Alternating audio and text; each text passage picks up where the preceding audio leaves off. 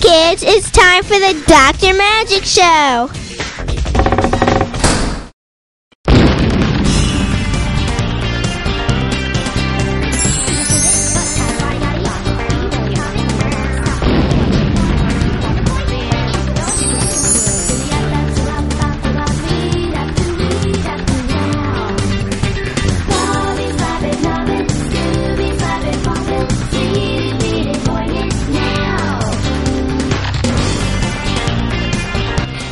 Let's join Dr. Magic in the playroom of the Magic Mansion.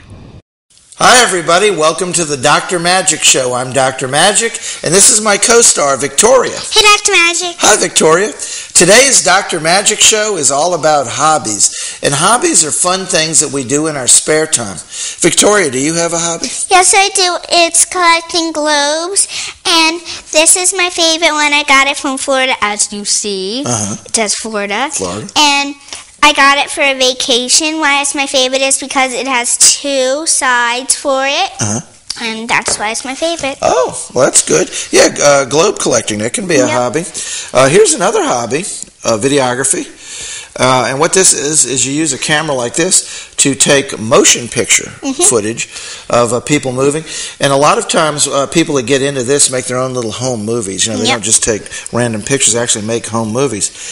Uh, these are art supplies, these are paints Yeah. and you use paints on canvas or wood or whatever paper, uh, and you can paint a painting like this as a picture of a fireplace. Okay, and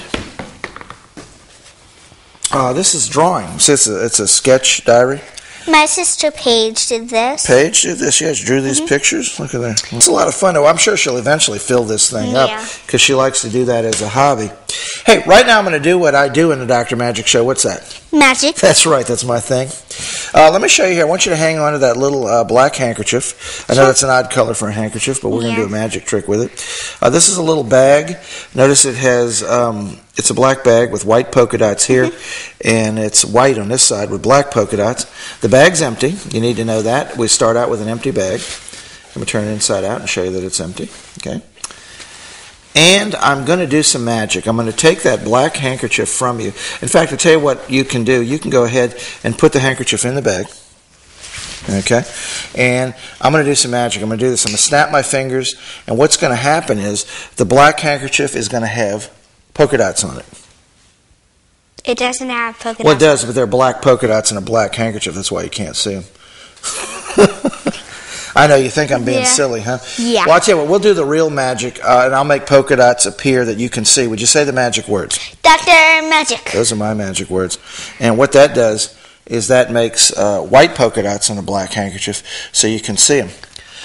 Wait, wait, wait a second. Hold on. These are like spots, you know? Yeah. There's a spot missing. Yeah, there's a spot. Wait, hold on. Oh, here it is. There's a spot that's missing. Spotty of the dog. See, that's the spot that's missing. hey, right now, we're going to check in with somebody who can really draw. He's a professional. This is Mike Artell. It's time for Mr. Mike You know, there are a lot of different kinds of hobbies. Some people like to work with wood, some people like to paint, some people, I don't they have all kinds of hobbies. I'm going to show you one that uh, a long time ago was very, very popular, still pretty popular stamp collecting. And I'm going to show you how to draw a stamp. Let's draw together. Let's get some of these off the, the screen. There we go. Now, we're going to draw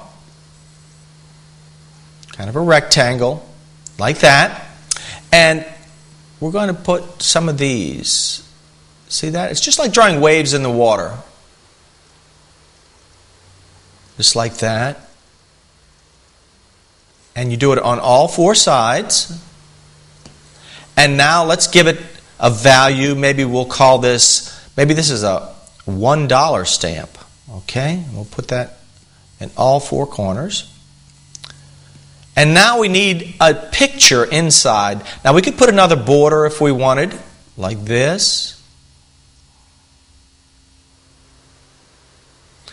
And then we could draw inside. Let's see. Hmm, maybe somebody who could one day become famous. Maybe you, right? Well, there are a lot of you out there, and I don't know quite how you look, but I'm just going to draw somebody right here a kid, and maybe this is when you become famous. And you have your own stamp. Put that there. Maybe we can add a little bit of color. Like that. And put some color right here. Good. The ears too. And maybe some nice dark hair. And let's just draw that in like that. Nice hair. And you could put your name on there as well if you like, or you could add other information too, like when you were born, things like that. And then we could put some background, give it a nice color for the background, like that. And a little shading here for that deckled edge. And there is our stamp. I hope your stamp turned out good too.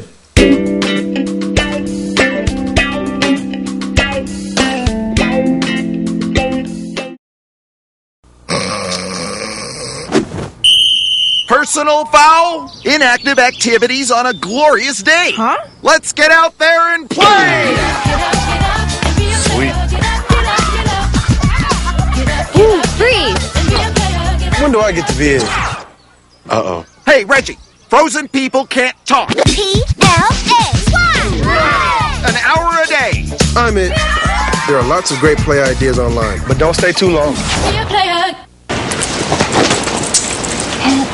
Pants, pants, pants.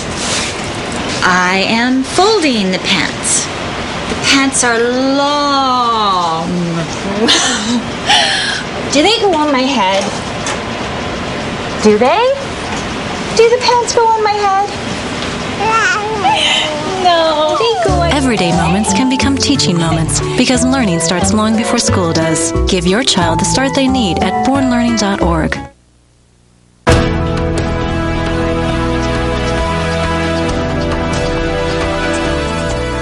Well, did you enjoy watching Mike Artell draw as much as we did? I hope so. Well, right now, we're going to continue looking at hobbies on today's Dr. Magic Show. And uh, Victoria, I have two more hobbies I'm going to discuss right here. Uh, this is comic book collecting. You see all these comic books here? Those are really old. Yeah, they are. These three comic books right here are from the 1970s. Okay. These two comic books here from the 1960s. Look, notice only 15 cents in the 60s. and these are so old. They're from the 1950s. That's why they look the oldest, because they are the oldest. Now, when I was a boy, I used to just read comic books. But a lot of people collect them. They don't just read them, they keep them after they read them. And uh, they collect them. And that's another hobby, comic book collecting. Now, yet another hobby you might want to consider is collecting money. Now, I say money instead of coin collecting because you see, you can collect coins like these coins here, or you can also collect paper money.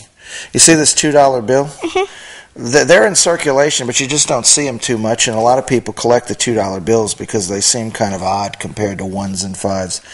So you can collect money, or you can collect comic books. Collecting things in general is just a wonderful hobby. Hey, right now we're going to show you some fun we had. I think you remember this, mm-hmm. this little adventure. Take a look.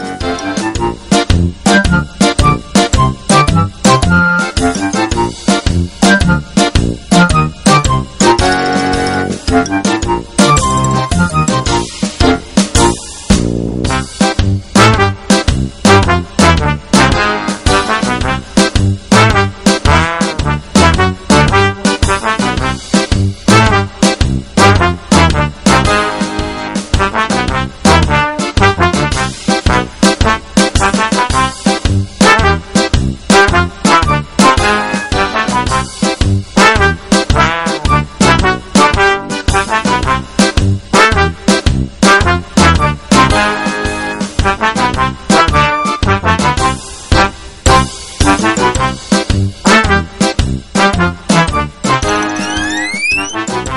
today's magical mystery picture.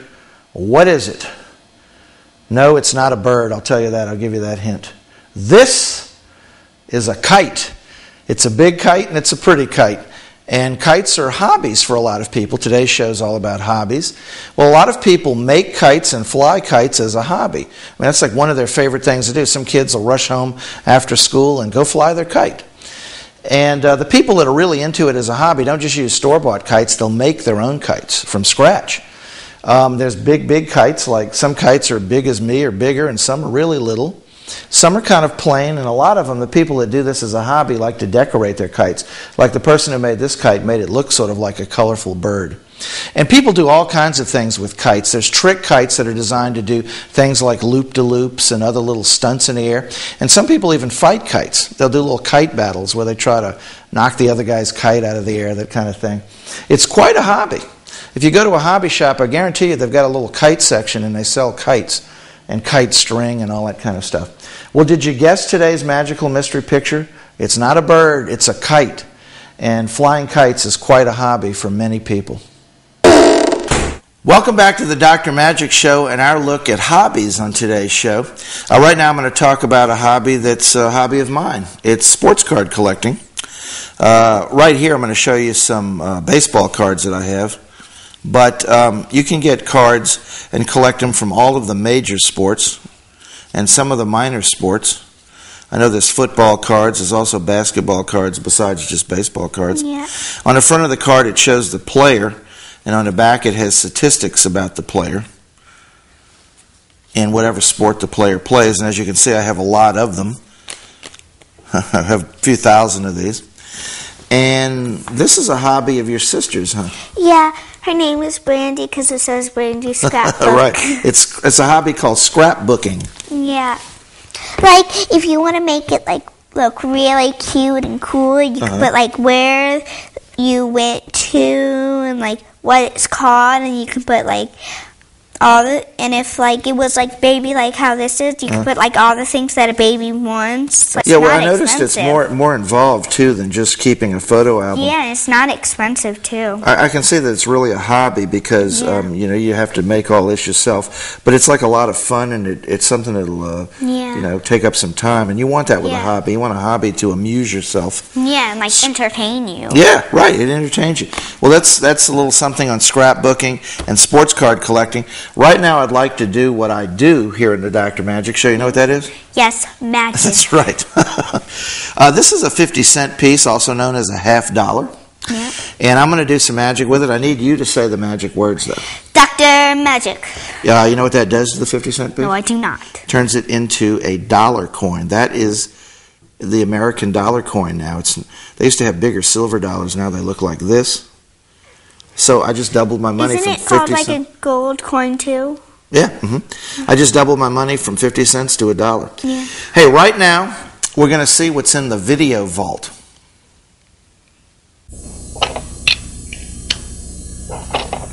Steve. Hey, Dr. Magic. Welcome back to the clubhouse. Well, thank you. I always enjoy visiting you here at the clubhouse. Love having you back over here. You brought your TV friends back? Yep, all my TV friends are here with me to see you. I'm glad. Y'all come on in, make yourself at home. What's this? That's my fish flipper, Dr. Magic. I didn't know you had a fish. Yeah, I, uh, I caught him a couple of weeks ago out in the Gulf on 30 pound test. okay, you caught flipper. Yeah. Okay, um.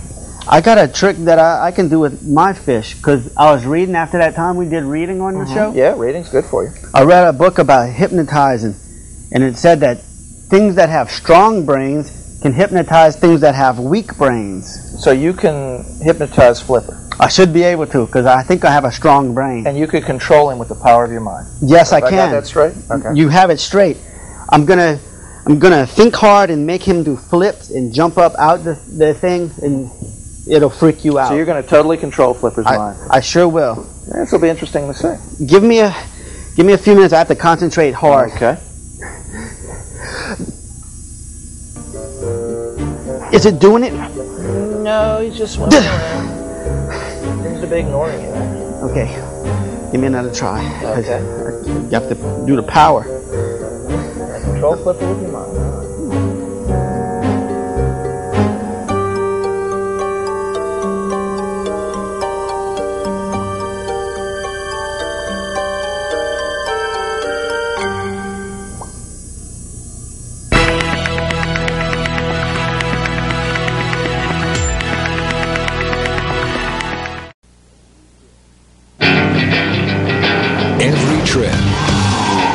Time. California, here I Buckle up so you and your friends get home safely. I must scream into the world from the top of some place very high. Seatbelts save lives. Okay. Visit NHTSA.gov. Low and slow.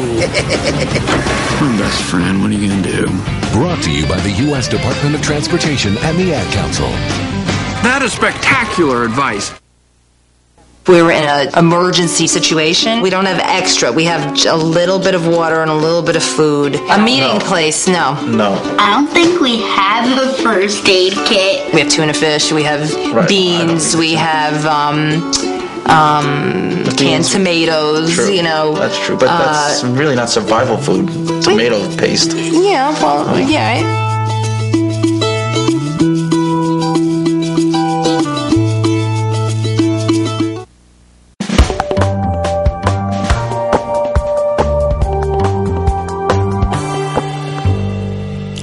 We hope you enjoyed that look into our video vault. Always something interesting in the vault. Yep. Before we continue talking about hobbies, which is what we're talking about on today's show, I thought I'd do a magic trick. Sure. Okay? I've got two red balls here. What I'm going to do is I'm going to put one of the red balls in my hand. Okay. And I want you to hold this other red ball real tight, like I'm holding this one. Squeeze hard. Turn your hand over. Okay, now watch this. I'm going to go like this. Do you feel anything when I do that? Mm-mm. I didn't feel anything either, but the red ball in my hand disappeared. Open your hand. what do you think of that? That was awesome. I thought so too. That surprised me even. yeah. Right now, you know what we're going to do? What? See what Paige is up to. Here's Paige. Hey guys, it's Paige, and today we're going to make a container to fit your hobby supplies. I made mine out of a jar, but you can make yours out of any container that'll best fit your hobby supplies. To do this craft, you will need construction paper, container of your choice, scissors, glue, pencil and marker, ruler, damp rag, ribbon, pre-cut letters, jewels, buttons, or anything that you would like to glue to your container. Cut your construction paper to fit the container you are using by tracing around the container. Cut a little wider than what you traced.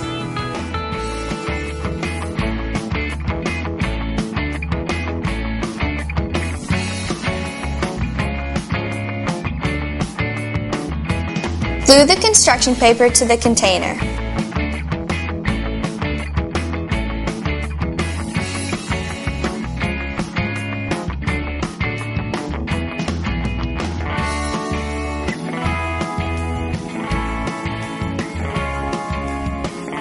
Measure the ribbon by putting it around the opening of your jar.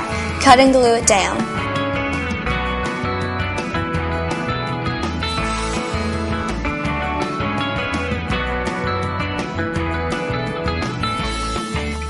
Add more color by adding a different ribbon on top of your wider ribbon.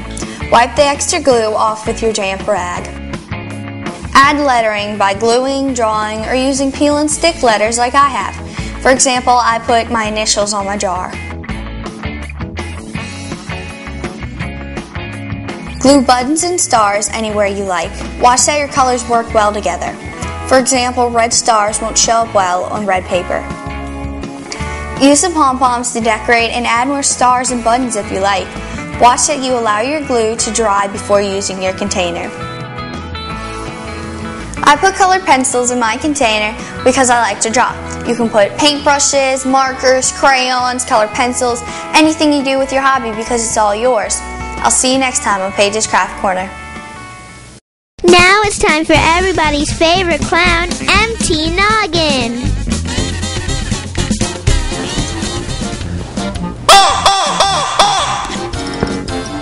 Ah, there he is. Hmm.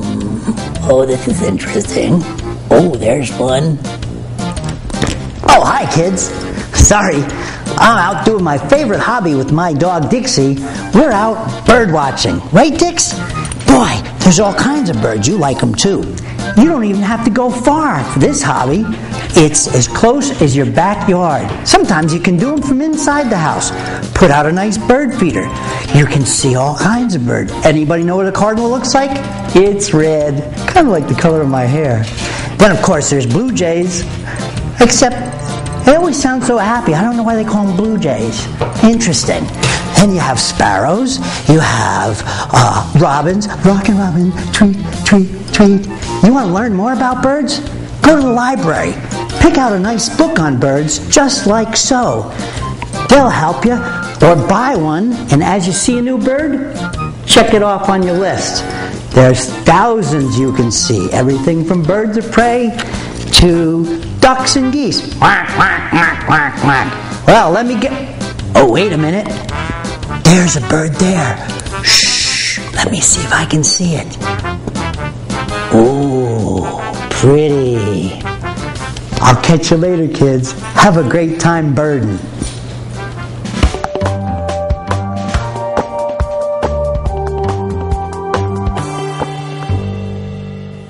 Horseradish. Is that for horses? Remember me, Mr. Lobster?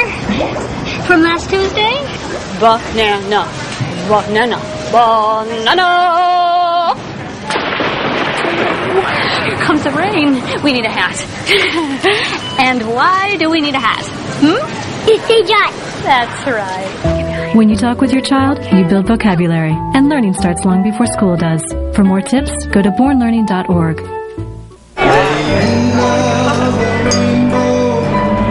my pot of gold. Your daddy's little girl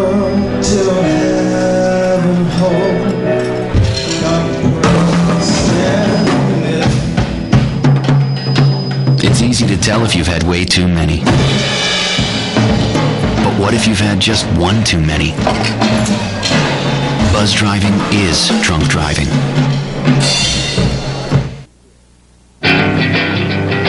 Every trip, every time. California, here I come! Buckle up so you and your friends get home safely.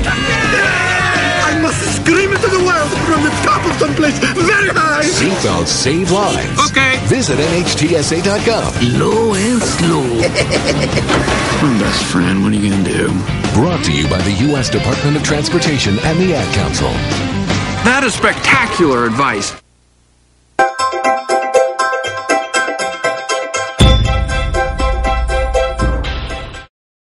Welcome back to the Dr. Magic Show and our look at hobbies on today's show. Uh, right now, we're going to discuss two more hobbies, and I guess you can guess what they are because right in front of us is a model train, uh, also known as an electric train because the train tracks are electrified and it makes the train go around. But now, all model trains do not have to be electric trains. Yep. Okay, this is a big hobby. Many a boy throughout the United States and actually throughout the world has had an electric train at some time in their life.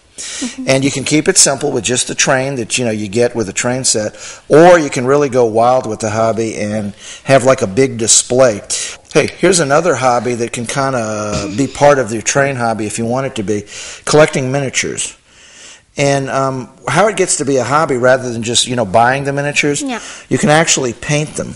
And there's all different kinds of miniatures. This is a cowboy, and you could I have soldiers or you know what these guys are, huh? Yeah, there's baseball players. Baseball players, like that's a catcher right there. hmm Hey, right now I'm going to do my thing. You know what my thing is? Magic. That's right, that's my thing. I've got two ropes here. I've got a red one and a blue one. I want you to take the red one, okay? And what I'd like you to do is this I'd like you to tie a knot in the end of the rope like that. Okay. I'll do the same thing. Okay. All right. See, like that? Look at mine.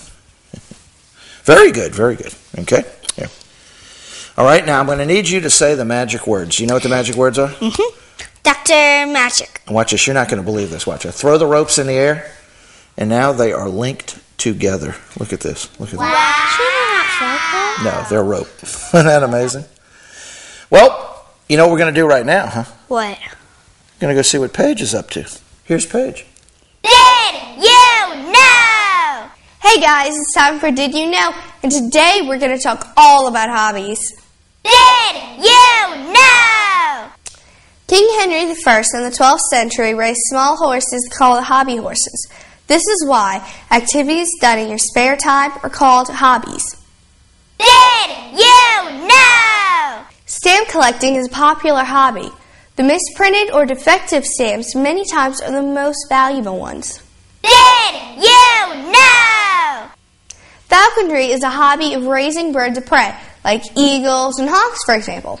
This hobby goes all the way back to the 1500s. Did you know? Today I'm going to show you something special. Magic of Call it the Duane magic Laflin. To show it to you, I must show you my hands and this red handkerchief. Now, if you watch very carefully, you might see the magic ball. Are you ready? One, two, three. Well, look. There it is. Now, you may be wondering, why is this a magic ball? I'll tell you. It bounces. Nothing magic about that. But it does something else very strange. If I push it in the center of the handkerchief, like that, look, it sticks. In fact, it really sticks. Can you see why? It sticks clear through the hanky. It's amazing. Very amazing. Now watch carefully. You might see it roll right off the edge of the handkerchief, just like that. Strange, isn't it? That's why I call it a magic ball. Here we go. There's another thing that it will do. Are you watching carefully? Here's what it does. If I take the magic ball, wrap it up in a red handkerchief, like this. There we go. Wrap it up very tightly, and then squeeze away. Why, when I'm all done, the magic ball has disappeared. It's just that simple. Of course, it couldn't have happened if it wasn't a magic ball, because as we know, magic is something that surprises our eyes. and that certainly surprised mine. I hope it surprised yours as well.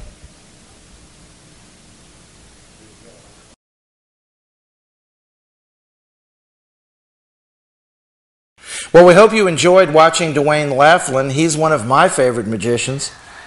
What are you doing, Victoria? I'm bird watching. Ah, bird watching. That's one of your hobbies. Huh? hey, uh, you know what my hobby is? Magic. Magic, that's right. And these are magic props. These are magic props for amateurs. Uh, this is not professional magic props like I use, but you can get these at a lot of places, and that's what's cool, especially if you want to do magic as a hobby. You can get these at toy stores, discount stores like dollar stores, novelty stores, and there's still a few magic shops around the country where you can get stuff like this. Well, I hope you enjoyed our look at hobbies on today's Dr. Magic Show, and I hope you'll watch us next time. For my co star, the lovely and talented Victoria, this is Dr. Magic, and we're wishing that every day of your life was magical. Bye bye, everybody.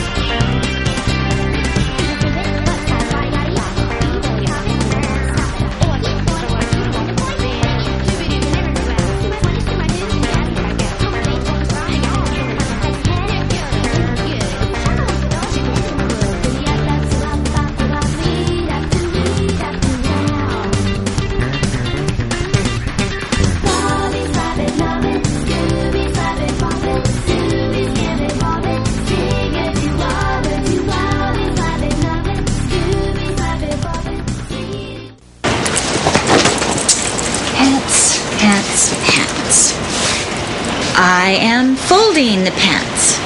The pants are long.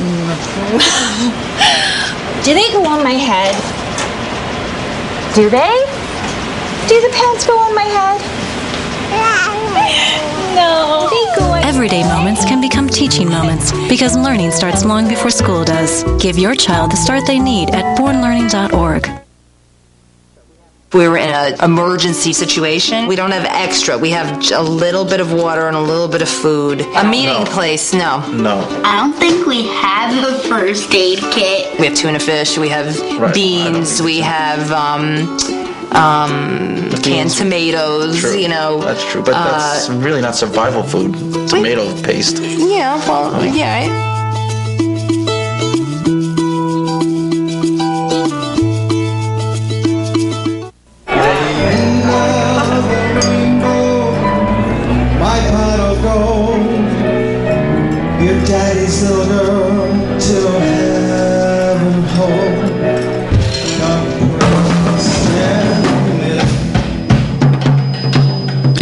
Tell if you've had way too many.